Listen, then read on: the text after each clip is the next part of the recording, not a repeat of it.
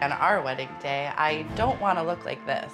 Beginning Tuesday, I don't know if I can do this without you. Shad and Shawna will spend 90 days apart God, having fun. to get a healthy new start. I'm finding more power in myself every day. Go, Shawna, go! Can they break their bad habits? I've started a process that's bigger than losing weight. Or will bad habits break them?